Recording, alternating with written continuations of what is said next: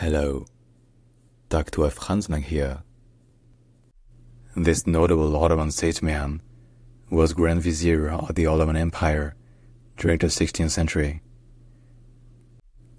In Turkish, this name is pronounced Rüstem Pasha Rüstem Pasha Rüstem Pasha Rüstem Pasha Alright, if you enjoy learning our pronunciations, don't forget to subscribe to my channel for more pronunciation guides from around the world. Join me on this linguistic journey and stay tuned. Tschüss.